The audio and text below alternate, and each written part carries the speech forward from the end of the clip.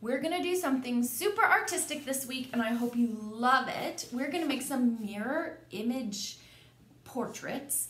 Uh, this one is just a heart. I started with something simple. So what you're gonna do, you're gonna get three pieces of paper. Choose one to be your reflection paper. That one you're gonna cut in half. The other two you're just going to fold in half.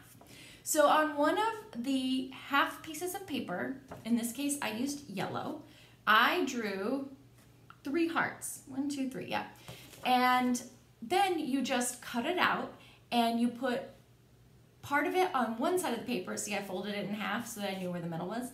One side on one piece, uh, one piece on one side and one piece on the other side. And it kind of makes this cool mirror image thing. It's super fun to do like a geometric pattern, something easy like that. Give it a try.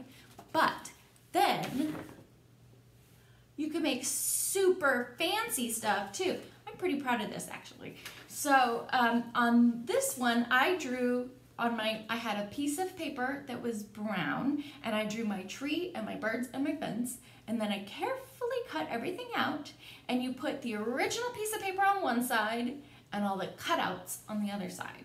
See how that works? And so it, it was actually a super simple drawing. Like I said, drawing's not my thing. So um, it was pretty easy and the cutting is, is you know, not that hard.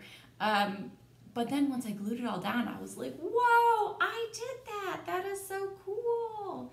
So I hope you love it. I think you will because it was super fun to do. And um, it's uh, it looks cooler than you think it's going to, which is pretty much the best part of any art project, I think. Well, I hope you love it.